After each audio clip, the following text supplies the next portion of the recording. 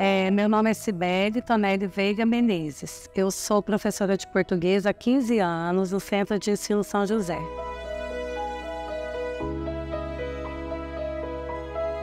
Como professora, eu acho que o, o papel da educação hoje é fazer com que o aluno se torne cidadão, se torne uma pessoa consciente, se torne uma pessoa é, que pode fazer o bem para o outro. Né? Além dele ser letrado, eu acho que ele, o que a gente procura, principalmente, é fazer com que ele seja uma pessoa íntegra, honesta. Eu sei que isso vem de casa, mas, mas nós, enquanto professores, enquanto a educação está aí, é para ela transformar, é fazer esse papel de transformação, de, de tentar trazer para o aluno o que é ser um ser consciente, humano e cidadão.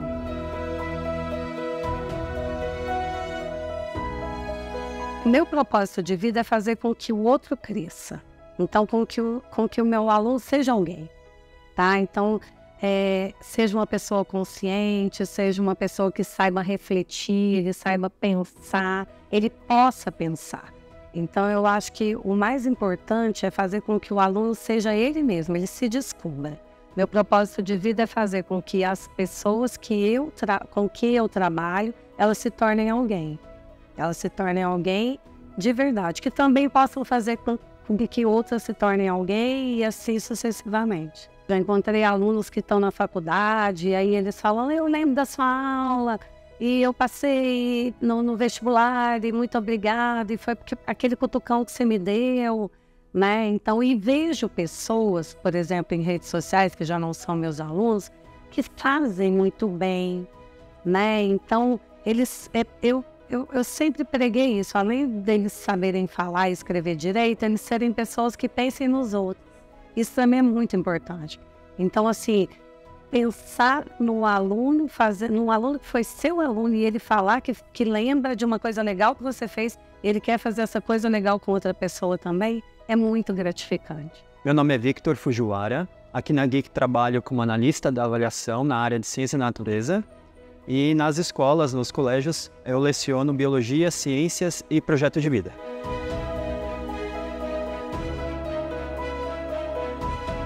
Eu comecei nesse projeto social de alfabetização de jovens e adultos aos 15 anos, eh, auxiliando professores, até receber uma oportunidade já próximo aos 16 anos em pegar uma turma e trabalhar com o processo de alfabetização. Por serem pessoas de idade, eh, a maneira de ensinar, a maneira de educar é diferente. Então era um desafio atrás de outro desafio. E a didática eu acredito que foi super importante, pois tive que conhecê-los bem a ponto de buscar sempre didáticas diferentes para que pudesse então é, fazer com que eles tornassem um aprendizado não só prazeroso, mas significativo. Também é uma missão, é, missões diárias na verdade, pois é, dentro dessa construção eu acredito que nada ele vem pronto. Justamente nós construímos junto com o aluno.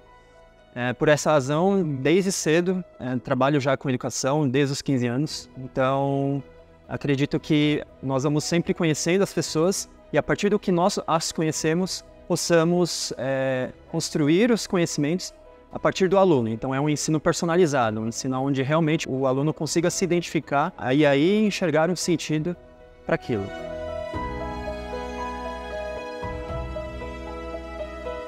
Hoje eu acredito que o professor ele é um professor mediador e um professor que ele deve buscar sempre o protagonismo do aluno.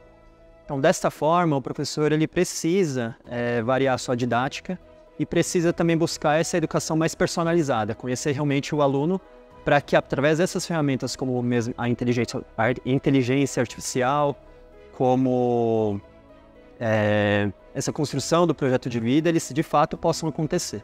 Então, a tecnologia, eu acredito que ela está aí para isso e para ajudar e para mediar essa situação, essa, esse equilíbrio entre o professor e o aluno. Então, a educação ela está mudando, acredito muito nessas mudanças e acredito também no professor que, ao modificar as suas metodologias, ele possa encontrar o caminho a cada ano para as suas turmas.